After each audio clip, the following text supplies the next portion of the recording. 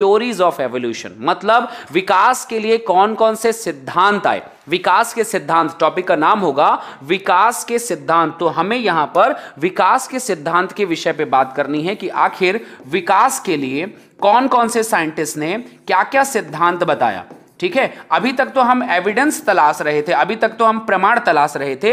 इन प्रमाणों के आधार पर किस किस साइंटिस्ट ने अपने अपने ज्ञान को व्यक्त किया, बताया कि आखिर ये टॉपिक कैसे आगे बढ़ पाएगा?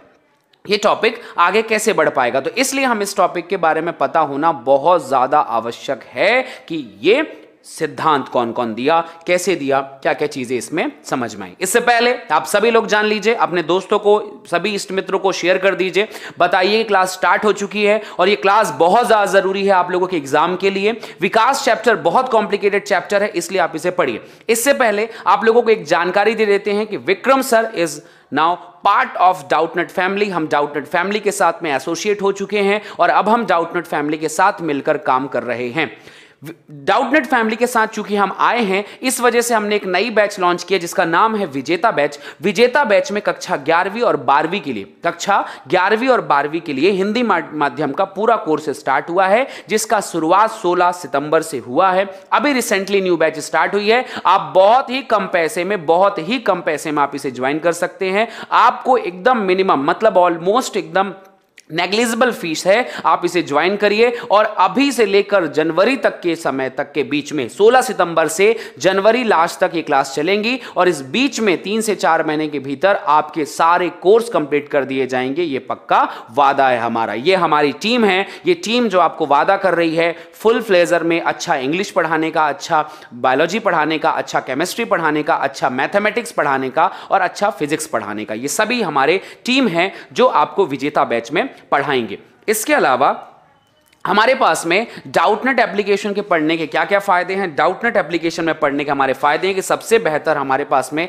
डाउट सॉल्विंग प्लेटफॉर्म है, जहाँ पर आप किसी भी प्रकार के सवाल को पूछ सकते हैं। आपको बस एक क्लिक करना है, फ़ोटो खींचनी और फ़ोटो खींचने के बाद आपके सारे डाउट क्लियर हो जाएँगे। ये एक बहुत अल्टीमेट फीचर्स है हमारे एप्लीकेशन का, आप इसे ज्वाइन कर सकते हैं। हमारे बेस्ट टीचर्स, सारे टीचरों की एक बेस्ट टीम चुन चुन के आपके लिए लाई गई है और ये टीम आपको पढ़ाएगी सारे सब्जेक्ट। इसके अलावा क्लास नोट्स आपको मिलेंगे, मुफ़्त में मिलेंगे मींस आप उसके लिए जो पे कर रहे हैं, उसी में आपको क्लास नोट्स भी मिलेंगे। डेली होमवर्क मिलेगा, जिससे आप अपने पढ़ाई को और बढ़िया तैयारियाँ कर सकते हैं। टीचर्स की स्लाइड मिलेगी, जो टीचर्स पढ़ा रहे हैं, वही स्लाइड आप लोगों को नोट्स के फॉर्म में भी मिल जाएगी, ताकि आप और भी दोबारा उसे देखकर टीचर की स्टाइल में उसे पढ़ सकते हैं। अगर आप इंटरेस्टेड हैं ज्वाइन करने में इंटरेस्टेड हैं, आपको लगता है कि आपकी पढ़ाई अभी अच्छे से नहीं हुई है इंटरेस्टेड नहीं है तो आप अपने आप से तीन सवाल पूछिए कि क्या अभी तक आपने इनफ पढ़ाई की है? क्या आपके टीचर्स आपको जो यहाँ भी पढ़ रहे हैं आप जहाँ पे भी तो आपकी इनफ प्रिपरेशन हो गई है और आप एग्ज़ाम के लिए तैयार हैं? या नो याद रखिएगा इलेवेंथ और ट्वेल्थ की पढ़ाई नीट लेवल की है कि नहीं, ये बात भी आप ध्यान रखिएगा। अगर इन तीन सवालों का जवाब नहीं में आता है तो आप तुरंत बिना सोचे समझे zero one two four seven one five eight two five zero में कॉल करें और अपनी पढ़ाई की सही शुरुआत कर सकते हैं। ये फैसला आपके लिए गेम चेंजिंग साबित हो सकता है। जब आप ग्यारहवीं और बारहवीं में हमसे पढ़कर, जब आप नीट की प्रिपरेशन करेंगे तो आप हमें मिस करेंगे कि हमने आपको क्या बेहतर कॉन्सेप्ट दिया है, जिसके आधार पर आपका नीट बहुत आसान हो जाएगा। क्या क्या मिलेगा इस बैच में आपको? इस बैच में इसे हम कहते हैं वीआईपी कोर्स ये वीआईपी कोर्स आप लोगों को कुछ अमाउंट पे करना पड़ेगा और जो बहुत कम है, उसे पे करने के बाद आपको मिलेगा। इस कोर्स की कुछ खास बातें हैं, जैसे टू चीज़ टेस्ट एडवांटेजेस यहाँ पर एक साथ एक टीचर्स आके आपको रिकॉर्डेड वीडियो मिलेंगी और एक टीचर्स आपको तुरंत के तुरंत जिस समय आप क्लास अटेंड कर रहे हैं, उसी समय पे। जैसे शाम को पाँच बजे क्लास हमारी, मान लीजिए रिकॉर्डेड आपके प्रीमियर हुआ, आपको दिखाई दिया। उस समय पे जो टीचर्स आप, अगर आपको बीच में डाउट आते हैं तो आप कमेंट में बताएँगे और वो कमेंट में जो आंसर है, वो एक टीचर वहाँ पर आपको तुरंत के तुरंत क्लियर करते जाएँगे। उसके अलावा तो वो टीचर्स आपको एडवाइस भी करेंगे, सही आंसर देंगे। इसके अलावा डाउट सॉल्विंग भी होगा डेली रिकॉर्डेड क्लासेस आपको मिलेंगी, एकदम बेहतरीन फीचर्स के साथ में। इसके अलावा जो इस, जो स्ट्रक्चर्ड कोर्स है, उसमें आपको टीचर्स के नोट मिलेंगे क्लास की स्लाइड्स मिलेंगी डेली होमवर्क मिलेगा और हर हफ़्ते आपका उसमें टेस्ट होगा। हफ़्ते सप्ताह में जो आपका छह दिन की क्लासेस हैं और एक दिन का टेस्ट ये आपके लिए ऑर्गेनाइज किया जाएगा। आप इसे ज्वाइन करें और बेहतर ज्वाइन कर सकते हैं। आप इसमें सिलेबस में एक कंप्लीट सिलेबस आपको मिलेगा। हिंदी छोड़कर आपकी सारी क्लासेस सारी क्लासेस, ये सिर्फ़ three subject two subject science की बस बात नहीं है इवन इंग्लिश भी आपको इसमें मिलेगा। तो आपको जब अगर इसमें कहीं फ़ीस आपको ये ना लगे कि कहीं छोटा मोटा है इंग्लिश भी वो एक वीक पॉइंट बन जाता है हिंदी मीडियम के बच्चों के लिए, जो ज्वाइन तो करते हैं, लेकिन इंग्लिश आती नहीं। कौन पढ़ाए उसे? तो इसलिए आपको इंग्लिश की भी क्लासेस यहाँ पर आपको मिलेंगी। सुनिएगा और आपको इंग्लिश स्पीकिंग का भी एक बढ़िया नॉलेज हो जाएगा।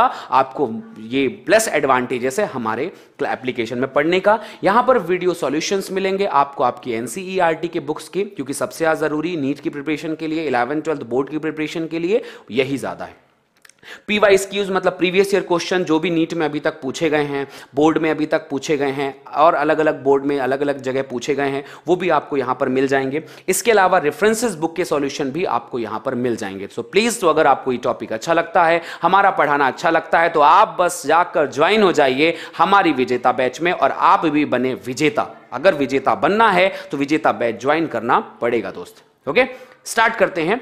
आज की क्लास आज हम क्या पढ़ने वाले हैं? आज हम पढ़ने वाले हैं theories of evolution means evolution का थ्योरी सिद्धांत क्या क्या है? और हम पर करेंगे कुछ महत्वपूर्ण प्रश्न। लास्ट क्लास में हम लोगों ने एविडेंस ऑफ़ एवोल्यूशन पढ़ा था और एविडेंस ऑफ़ एवोल्यूशन में हमने बहुत सारे पैलेंटोलॉजिकल भूगर्भीय प्रमाण पढ़े थे। इसके अलावा हम लोगों ने जो उनके मॉर्फोलॉजी एंड शारीरिकी और एनाटॉमी के आधार पर भी हमने उनका प्रमाण पढ़ा था। एनालॉगी ऑर्गन होमोलॉगी ऑर्गन इसके अलावा फिर हम लोगों ने पढ़ा embryological evidence biological biochemical evidence कि उनके बायोकेमिकल भी समान थे। उनके शरीर के एम्ब्रियो समान था एम्ब्रियोलॉजिकल एविडेंस उसके बाद फिर हम लोगों ने पढ़ा भू भौगोलिक प्रमाण जिसमें हमने मार्सुपियल्स के बारे में बात की, और इसके अलावा फिर ये सब चीज़ें हमने पढ़ लिया अभी तक।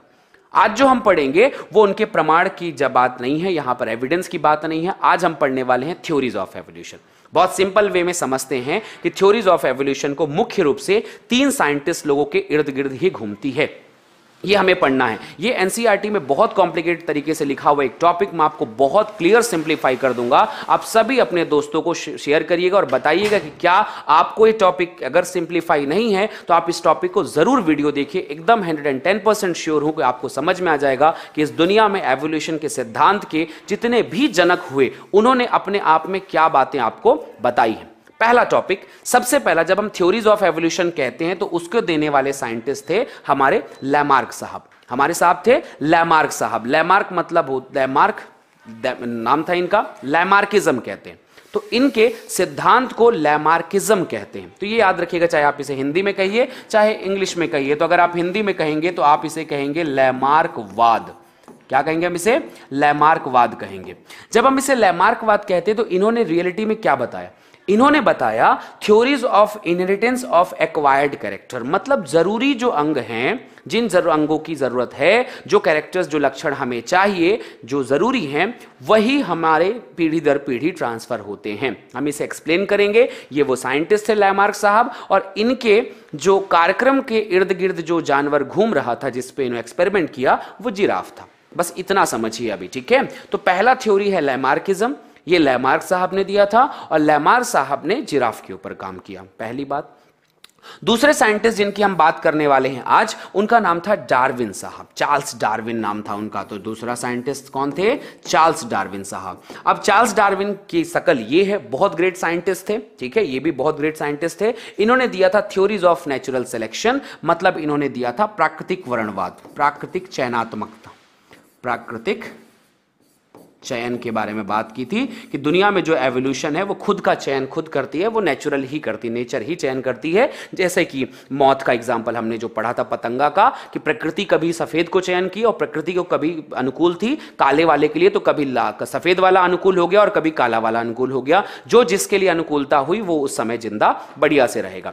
इसके अलावा mutation theory of De Vries mutation, एक और साइंटिस्ट है जिनका नाम था ह्यूगो डिवरीज, और डिवरीज साइंटिस्ट की ये फ़ोटो है आपके सामने। देखिए, स्मार्ट से साइंटिस्ट नाम था इनका ह्यूगो डिवरीज। इन्होंने म्यूटेशन थ्योरी के बारे में मतलब उत्परिवर्तन के बारे में बताया कि एक्चुअली ये सारा कार्यक्रम उत्परिवर्तन पर डिपेंड करता है, और इन्होंने इसके लिए उपयोग किया प्रेमरोज प्लांट ठीक है? नाम ज़रूर याद रखिएगा किसने किसका उपयोग किया। तो डिरवी साहब ने प्रेमरोज प्लांट का उपयोग किया। ये नेचुरल सिलेक्शन बताकर आपने डार्विनिज्म साहब ने पतंगे को एग्ज़ाम्पल लिया और लेमार साहब ने जिराफ को एग्ज़ाम्पल दिया। एक एक करके स्टार्ट करते हैं। सबसे पहली थ्योरी गजब की थ्योरी लैमार्किज्म ठीक है? लैमार्किज्म थोड़ा सा इंग्लिश थोड़ा सा हिंदी मिलाकर हम पढ़ेंगे ताकि आपको कोई भी परेशानी ना हो। तो थ्योरीज ऑफ़ एवोल्यूशन का पहला पार्ट नाम है लैमार्किज्म मुझे उम्मीद है आप सभी लोग सुन पा रहे होंगे। ठीक है? अगर अभी तक का कॉन्सेप्ट आपको समझ में आया तो मुझे कमेंट सेक्शन पे यस नो ज़रूर बताएँ। और जो हमारे डाउटनेट के विद्यार्थी हैं, वो आप मुझे बता सकते हैं। यस नो आपको समझ में आया है कि नहीं आया है। सभी लोग बहुत फोकस करके पढ़े। पहला theory Lamarckism theory of inheritance of acquired character इन्होंने किस विषय को बात बताई थी? एक्वायर्ड कैरेक्टर का मतलब होता है कि जो लक्षण का हम ज़्यादा उपयोग करते हैं, वो हमारी पीढ़ी दर पीढ़ी डेवलप होता जाता है। इन्होंने क्या बताया? फ्रांसीसी प्रकृति वैज्ञानिक थे, जिनका नाम था लैमार्क और लैमार्क जो थे, इन्होंने कहा कि जीवों का विकास उनके उपयोग और अनुप्रयोग पर डिपेंड करता है। उपयोग और अनुप्रयोग। ज़्यादा उपयोग अगर किसी अंग को करेंगे तो वो अंग बढ़ जाता है और जब जब हम किसी अंग का उपयोग बहुत दिनों तक नहीं करते हैं तो वो ग्रोथ नहीं होता है। समझ में आई? That is called the theories of intense of acquired character मतलब लक्षणों का मतलब आवश्यक लक्षणों का। आवश्यक या कहना चाहिए उपयोगी, जिसका हम उपयोग कर रहे हैं। उपयोगी लक्षण के वाले अंगों का वाले अंगों की वंशागत की। ठीक है? आप इसे कहेंगे वंशागत की। ठीक है? तो वंशागत की हुई है ऐसे अंगों की जिनका ज़्यादा उपयोग हो रहा है। ये लैमार्क साहब ने कहा, इस बात को प्रूफ करने के लिए इन्होंने दो एग्ज़ाम्पल लिए। पहला एग्ज़ाम्पल लिया इन्होंने जिराफ का। पहला एग्ज़ाम्पल लिया इन्होंने, जिराफ का, और जिराफ का कहा कि शुरुआत में जिराफ की गर्दन जो है छोटी हुआ करती थी। लेकिन अचानक से एक समय आया कि उस समय ज़्यादा जो पौधे हुआ करते थे, जिस क्षेत्र में जिराफ रहते हैं, वहाँ पर उनकी जो हाइट है पौधों की, वो बढ़ती गई। तो शुरुआती समय पर जिराफ ने जब हाइट बढ़ती गई पौधों की तो बड़े बड़े पौधे थे। उनको उन्हें खाना था, ऊपर के पत्तों को खाना था। इसलिए इन्होंने साल दर साल साल दर साल ऐसे उपयोग किए, और उपयोग करने की वजह से इनको चूँकि ऊपर के खाने खाने थे, इस वजह वजह से इनकी जिराफ की गर्दन बढ़ती गई। और इसलिए जिराफ की गर्दन आज इतनी बड़ी है क्योंकि ये हमेशा कोशिश करते थे कि इन्हें ऊपर के जो पेड़ हैं, उनकी पत्तियाँ खानी चाहिए। इसलिए इनका उपयोग, इन्होंने कहा कि इन्होंने ज़्यादा उपयोग किया गर्दन का। हमेशा ऊपर की चीज़ों को खाने की कोशिश की। इस वजह से इनकी गर्दन बढ़ गई। दूसरा एक एक उपयोग बताया कि जो सरीसृप है, इनके शुरुआती इनके पास में पैर हुआ करता था। बाकी जितने भी रेप्टाइल्स हैं, बाकी सब सरीसृप के पास पैर हैं। सिर्फ़ सांप के पास नहीं है, क्या रीजन है? तो जो स्नैक हुआ करते थे, उन्होंने कह दिया कि पहले इनके पास में भी पैर हुआ करते थे। आप देख रहे हो डायग्राम में, इनके पास मैंने पैर डायग्राम पैर वाला डायग्राम रख रखा है। ठीक है? तो ये पैर हुआ करते थे और ऐसा एविडेंस भी मिला है कई जगह कि पैर हुआ करते थे। इनको धीरे धीरे पैर की आवश्यकता नहीं पड़ी, ये रेंगने लग गए ऐसा ऐसा करके क्रीपिंग करने लग गए, सतह से चलने लग गए, इनके पैर धीरे धीरे की ज़रूरत थी नहीं, पैर चले गए। तो इन्होंने ये बताया कि हम जिन अंगों का ज़्यादा उपयोग करते हैं, वो अंग बढ़ने लग जाते हैं, वही अंग विकसित होने लग जाते हैं और वो लक्षण विकसित होते हैं। और जिन लक्षणों का हम उपयोग ज़्यादा नहीं करते हैं, वो लक्षण उपयोग नहीं करते। वो हमें उपयोग वो धीरे धीरे खत्म हो जाते हैं। बहुत हद तक इनकी बातें कई बार सही भी लगती है। एग्ज़ाम्पल के लिए, हमारे लिए जो हमारा कान का ये जो भाग है, पिन्ना, ये आजकल वेस्टिजनल ऑर्गन है, अवशेषी अंग है इसका कोई उपयोग नहीं। पूछ हमारे शरीर में अवशेषी अंग हो चुका है। दांत का सबसे आखिरी वाला भाग आज अवशेषी हो चुका है। तो जब हम इसके उपयोग नहीं करते हैं तो ये धीरे धीरे खत्म हो जाता है। ऐसा लोगों ने कहा। लेकिन लैमार्क साहब ने अपने आप को बहुत ज़्यादा क्लियर प्रूव नहीं कर पाए। जब इनके ऊपर क्रॉस क्वेश्चन आया तो क्रॉस क्वेश्चन को प्रूव नहीं कर पाए। समझिए, जिराफ का उदाहरण दिया, ऊँचे पेड़ की फुनगियों की पत्तियों को चरने के लिए अपने गर्दन की लंबाई बढ़ाकर अनुकूलन कर लिया। इन्होंने बताया कि गर्दन की लंबी विशिष्टता जो है उत्तर जीविता विशिष्टता को उत्तर जीविता ये एक बहुत लाइन है। विशिष्टता की उत्तर जीविता संतति ये लाइन है। विशिष्टता स्पेसिफिक चीज़ों की ही उत्तर जीविता होती है। जो इंपॉर्टेंट है, जो ज़रूरी है, विशिष्ट है, वही लक्षण पीढ़ी दर पीढ़ी उत्तर जीवित होगा मतलब वो इनहेरिटेंट होगा। विशिष्टता एक्वायर्ड कैरेक्टर जो है हमेशा इनहेरिटेंट होगा और वर्षों से वर्षों बाद धीरे धीरे जिराफ की गर्दन ऐसे बढ़ी होगी। इन्होंने ऐसा कह दिया। सांप का पैर ऐसे ही धीरे धीरे कम हुआ होगा। शुरुआत में उसने उसका उपयोग कम कर दिया तो उपयोगिता कम हो गई। इतनी गर्दी लंबन को प्राप्त किया, लेकिन आजकल इस अटकलबाजी पर कोई विश्वास नहीं करता और इसको विश्वास ना करने के पीछे दो तीन कारण हैं। मान लीजिए कि एक इंसान ने अपने आप को ज़्यादा, मान लो एक्सरसाइज किया। इसका एग्ज़ाम्पल बताते हैं। अगर बहुत ज़्यादा एक्सरसाइज करने पर इंसान पहलवान बन गया तो वो पहलवान बन जाता है तो अगर उसके बच्चे भी पहलवान होने चाहिए, उसको भी एक्सरसाइज करने की आवश्यकता नहीं होनी चाहिए तो क्या ऐसा होता है? ऐसा नहीं होता है। अगर एक इंसान लगातार एक्सरसाइज कर रहा है तो हाँ, अपनी बॉडी में वो चेंज ला सकता है। वो अपनी बॉडी में चेंज ला सकता है। लेकिन ये चेंज उसकी पीढ़ी से पीढ़ी में कैसे जाएगा? मान लेते हैं कि उसके एक के पास में पैर ना रहा हो, गर्दन बड़ी रही हो धीरे धीरे हो गई हो किसी कारण से, लेकिन इन लक्षणों का पीढ़ी दर पीढ़ी कैसे जाता है, इस बात को इन्होंने प्रूव नहीं कर पाए। मतलब बताया इन्होंने सही बात नो डाउट उसमें कोई कमी नहीं थी। लेकिन इसमें, इस बात को प्रूव नहीं कर पाए कि हाँ, जो विशिष्ट लक्षण है, वो उत्तर जीवित कैसे होता। अगर ऐसा होता तो जिम जाने वाला एक पहलवान नेक्स्ट जनरेशन उसकी पहलवान ही पैदा होती। उसको एक्सरसाइज करने की आवश्यकता ही नहीं होती। अगर ऐसा कुछ होता तो तो इसलिए इन्होंने कह दिया कि ये थोड़ी सी बात गलत है और ये आजकल इस बात को कोई नहीं मान रहा है। इसके बाद थोड़ी सी नई बातों को लेकर कुछ और साइंटिस्ट आए और उन साइंटिस्ट में सबसे फ़ेमस साइंटिस्ट है जिनका नाम था डार्विन साहब। तो इन्होंने दिया नेचुरल सिलेक्शन प्राकृतिक वर्ण, प्राकृतिक चुनाव।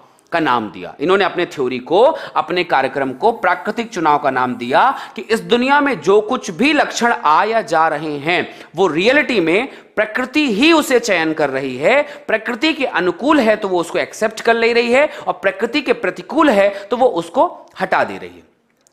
डार्विन साहब बहुत ज़्यादा दिमागदार साइंटिस्ट थे। इन्होंने एक कुछ ऐसी बातें कह दी जिसे आज तक कोई गलत साबित कर ही नहीं सकता। एग्ज़ाम्पल के लिए इस दुनिया में वही इंसान अपने आप को सर्वाइव कर पाएगा जो फिटेस्ट प्रकृति के अनुसार जो सर्वोत्तम है, उसी की अनुकूलता जो सर्वोत्तम है, वही जो है आपका नेक्स्ट जनरेशन में उत्तर जीविता है। इन्होंने एक पॉइंट दिया, उस पॉइंट को हम कहते हैं, वो विशिष्टता की थी, और इन्होंने कहा सर्वोत्तम, विशिष्ट नहीं, सर्वोत्तम की उत्तर जीविता। ये लाइन को हम कहेंगे, सर्वोत्तम की उत्तर जीविता। मतलब ये है कि जो जीव उस समय प्रकृति के अनुसार सर्वोत्तम अनुकूल रहेगा, वही ज़िंदा रहेगा और वही अपने आप को ढाल पाएगा।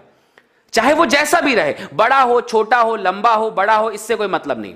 मतलब है कि लक्षण वही बनते हैं जो सर्वोत्तम हो। वही जीव अपने आप को बना पाते हैं और जीवन पर्यंत चल पाते हैं। और यह बिल्कुल सही बात है सर्वाइवल ऑफ़ द फिटेस्ट ये लाइन जीवन पर्यंत पहले भी सही थी, आज भी सही है, आने वाले समय पर भी सही रहेगी। इन्होंने इस बात को प्रूव करने के लिए बहुत मेहनत की।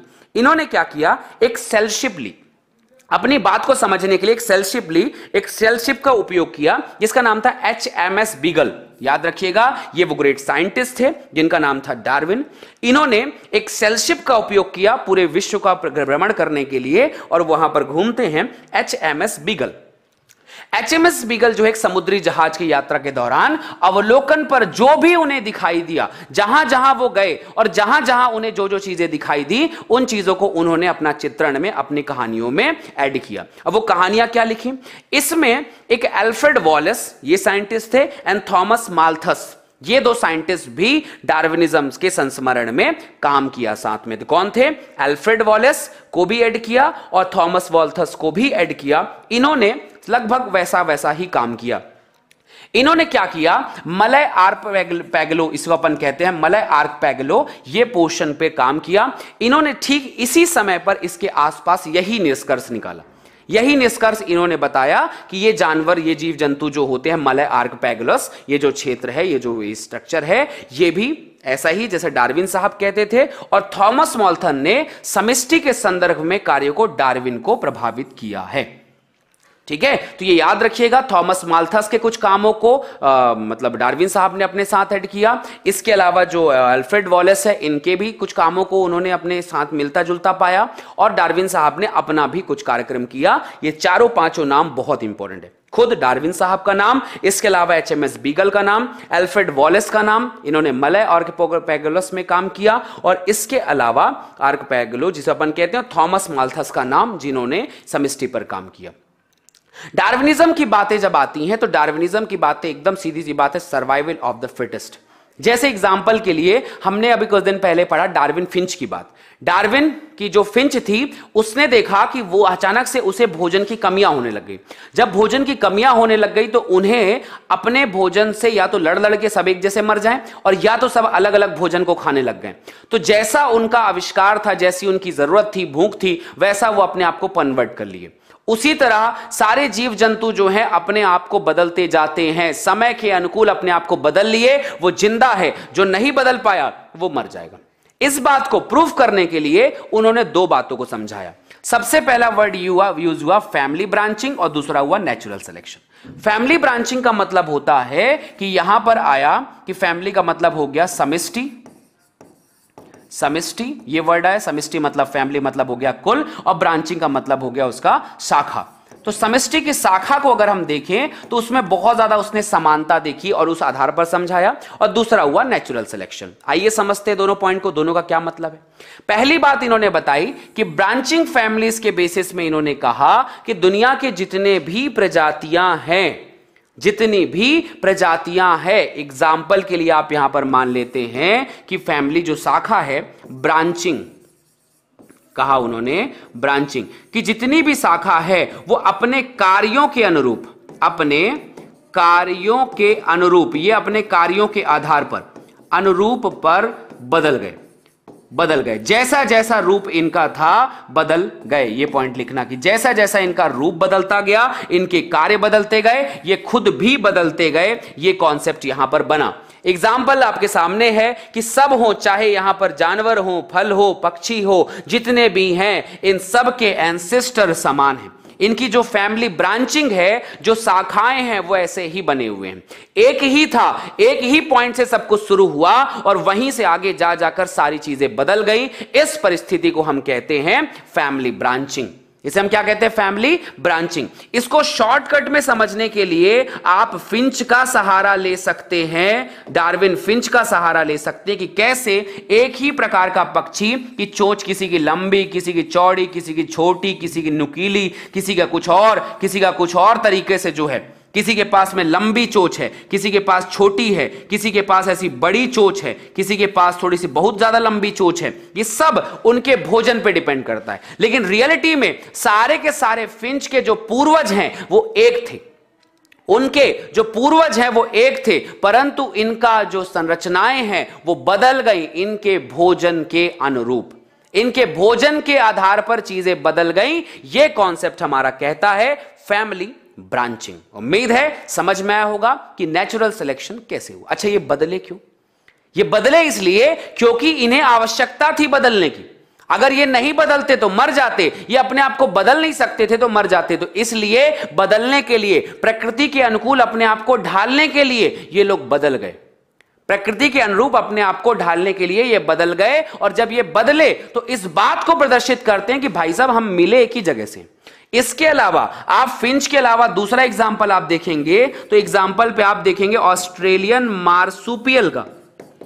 जब आप मार्सुपियल का एग्ज़ाम्पल देखते हैं तो भी आपको यह बात समझ में आती है कि सबके के पास में एक शिशुधानी है, सबके सबके पास में एक पाउच है पेट के पास में। अब सबके पास पाउच है मतलब सबके सब सिमिलरिटीज शो कर रहे हैं। एक खास बात कैसे हो सकती है? कोई चूहा है, कोई बिल्ली है, कोई भेड़िया है, कोई तस्मानियन वॉल्फ है, कोई बम कैट है, कोई स्क्वायरल है आपका? फ्लाइंग स्कैरल है, कोई बैंडिकूट है, ये सबके सब लेकिन अलग अलग जानवर हैं, लेकिन सब में एक खास बात है। एक विशेष क्षेत्र में रहते हैं और सबके पास शिशुधानी है। इसके पीछे क्या कारण हो सकता है कि इनके पूर्वज एक रहे हो? तो इनके पूर्वज एक रहे हैं, इसलिए मार्सुपियल का भी एग्ज़ाम्पल इन्होंने प्रूफ किया इस बात को लेकर। तो ये दो तीन बातें फैमिली ब्रांचिंग को प्रदर्शित करती है, ये इस विशिष्ट की शाखा को प्रदर्शित करती है कि आज हम भले अलग अलग हैं, लेकिन हमारी जो शाखाएँ हैं, वो जाकर एक जड़ पर जाकर मिलेंगी। ये जो शाखाएँ हैं, जो आज हमने निकाली हैं, ये रियलिटी में देखा जाए तो एक नहीं, दो नहीं, करोड़ों साल पहले का भी अगर आप इतिहास निकालो तो आप, आपकी जड़ एक पाओगे। ये डार्विन साहब का कहना था। सारे जीव जंतु कहीं ना कहीं से एक दूसरे से सिमिलर हैं। इनका थोड़ा सा बदलाव। जब हम इसको थोड़ा सा बदलाव देख सकते हैं मार्सुपियल का, थोड़ा सा बदलाव जब हम फिंच का देख सकते हैं तो हम ये भी मान सकते हैं कि सारे जीव जंतु एक दूसरे से सिमिलर रहे होंगे। चलिए, अगले पॉइंट पे आते हैं।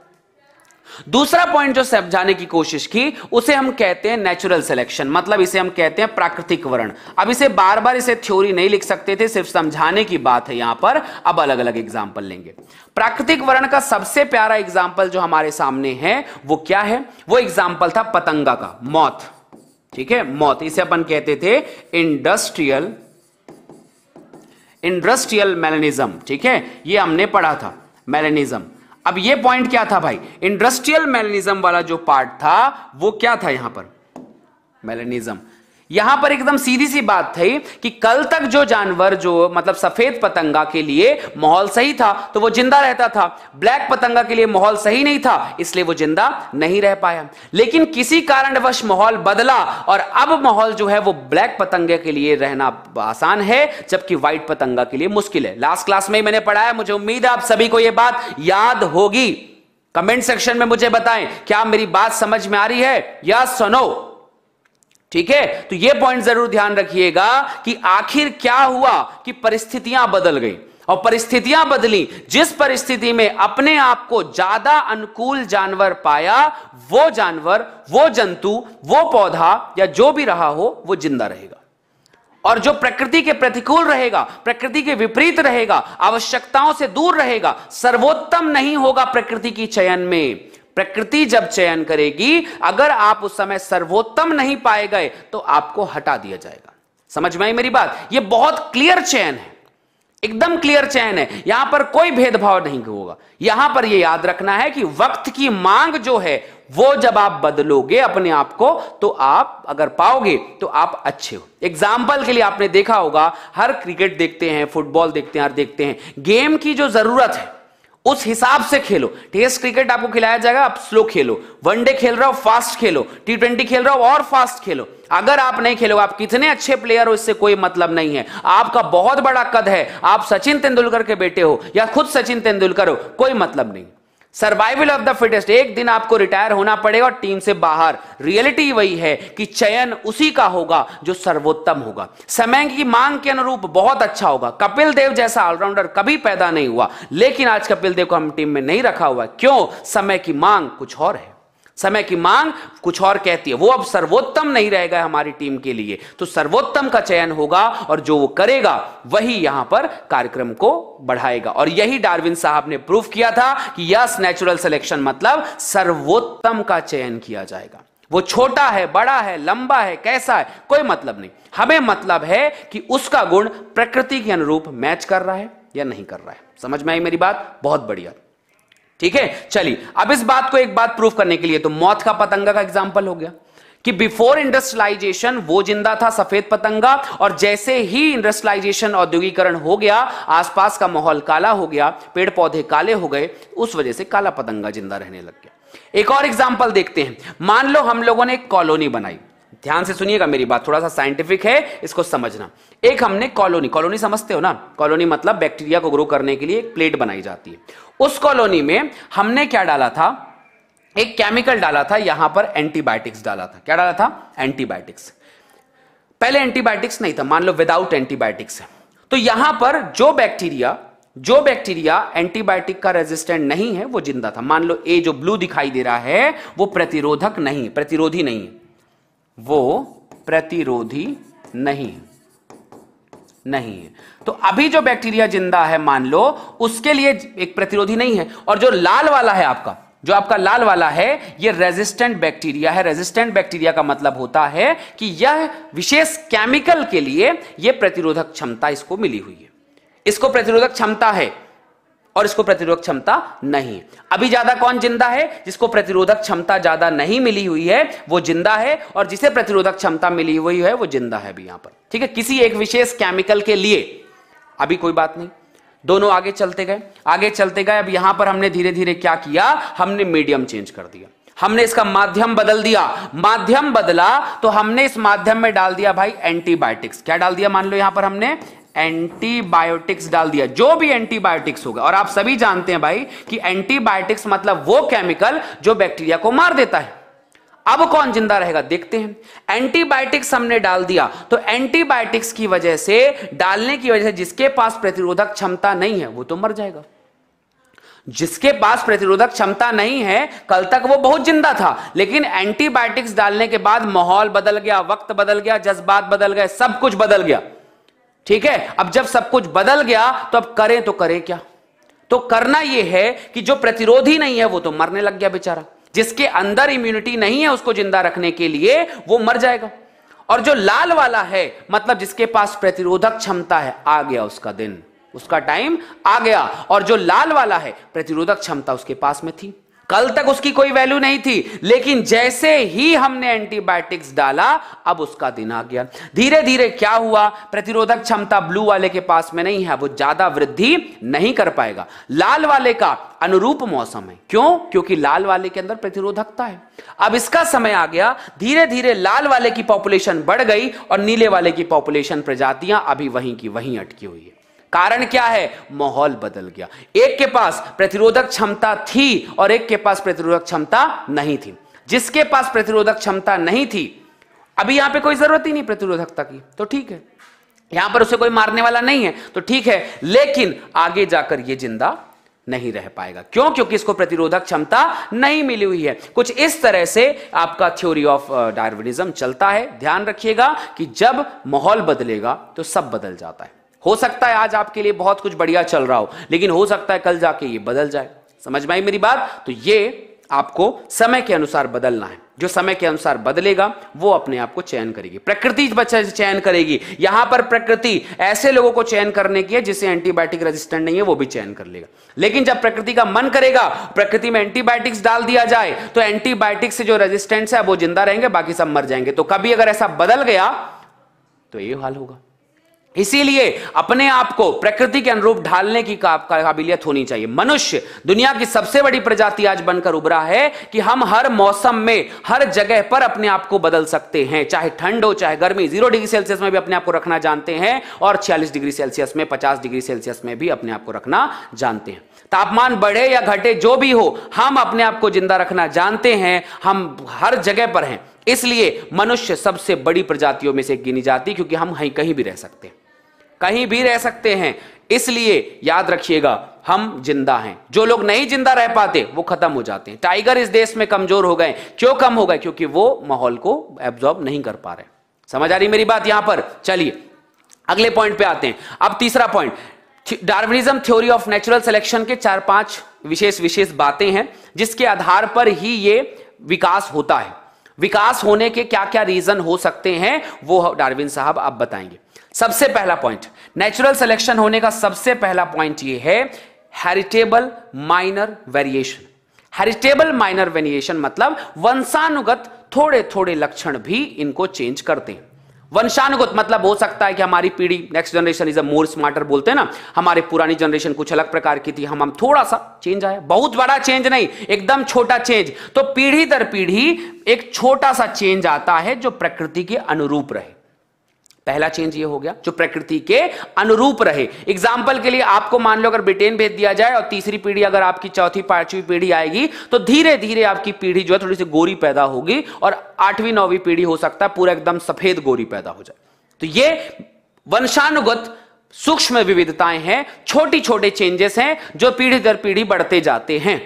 दूसरा ओवर प्रोडक्शन जनसंख्या का, जीव का अति उत्पादन यह भी मतलब कारण बनता है विकास का। कारण यह है, मान लो एक उत्पादन बहुत ज़्यादा बढ़ गया एग्ज़ाम्पल के लिए, ठीक है?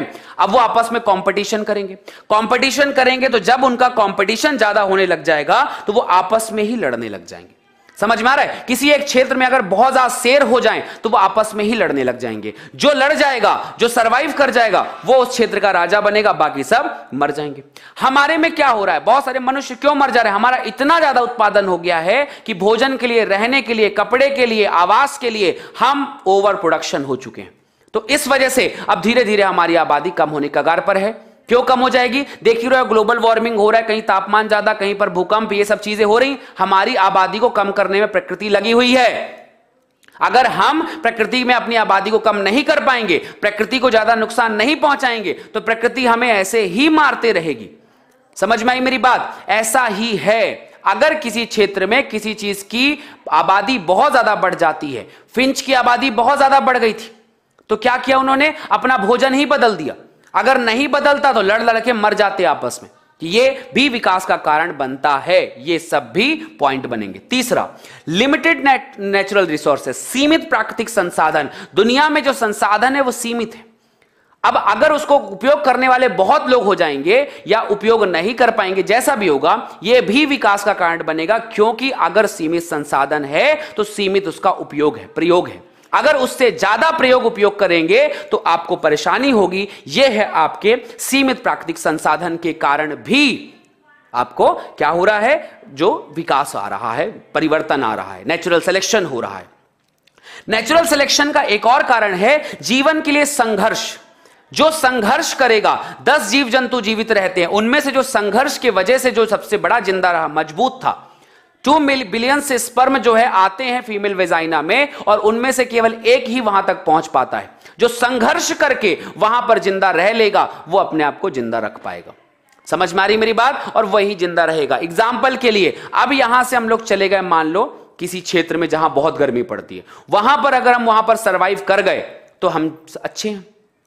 जीवन के लिए संघर्ष भी विकास का कारण है। संघर्ष में जो विजित होगा, जो जीवा जिएगा, विजेता बनेगा, वही यहाँ पर राजा बनेगा और वही ज़िंदा रह पाएगा। यह भी विकास का कारण बनता है। और सबसे आखिरी point fifth point survival of the fittest मतलब सर्वश्रेष्ठ का चयन।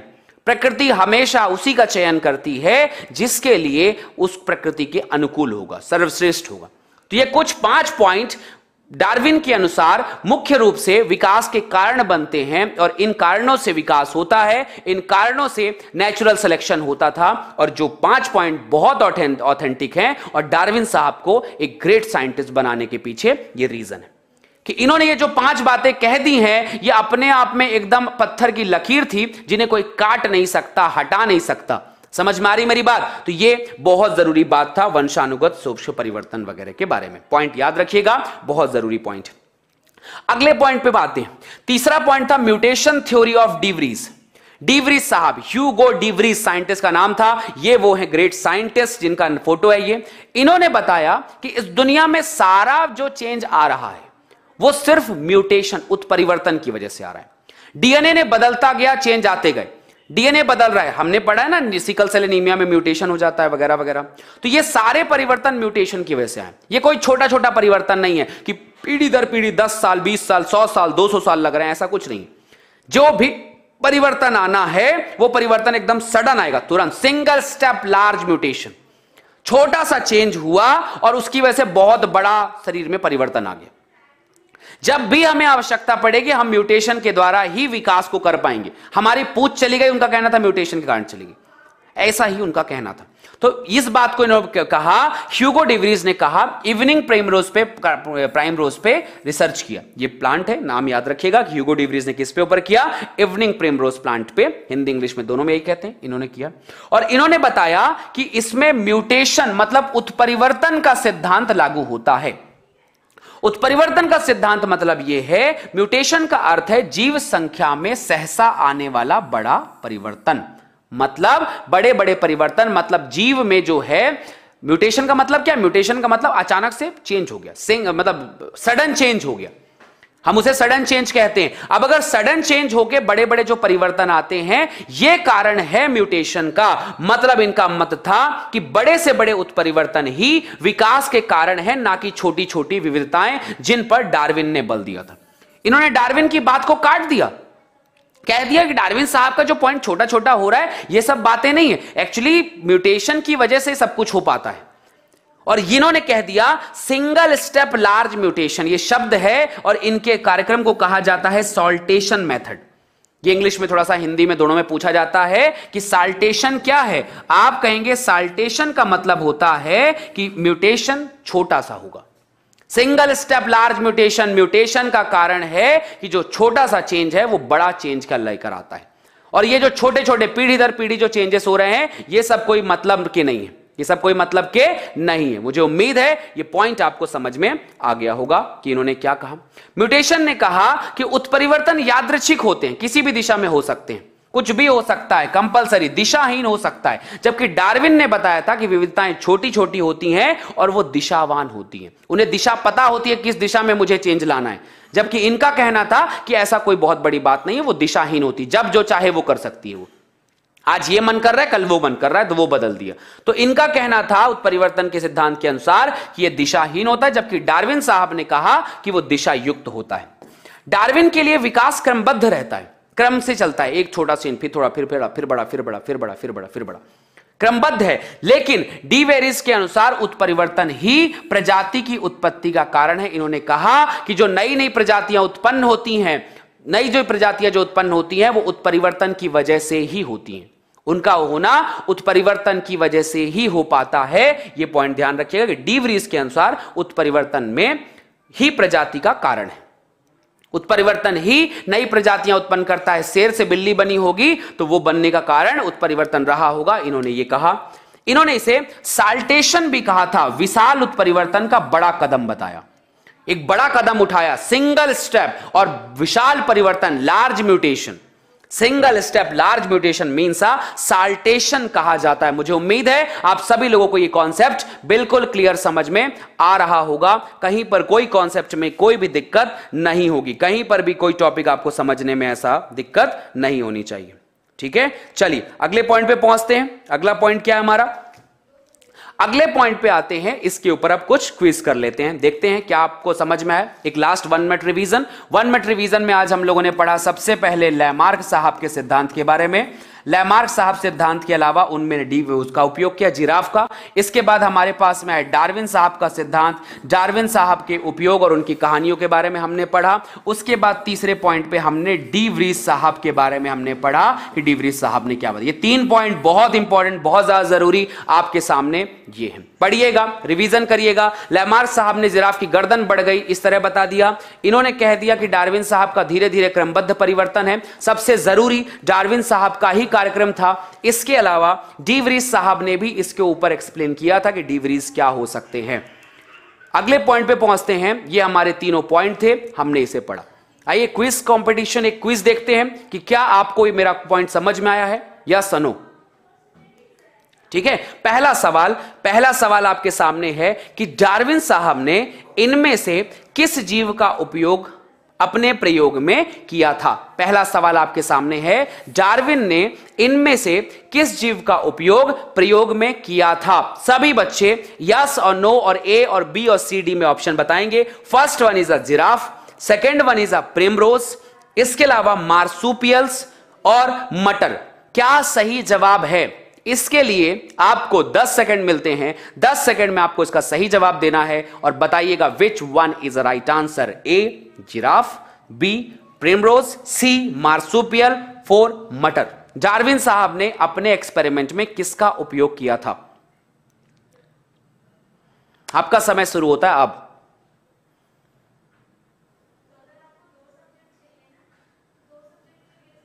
Okay time out which one is right answer देखा जाए कितने प्रतिशत बच्चों ने सही जवाब दिया है।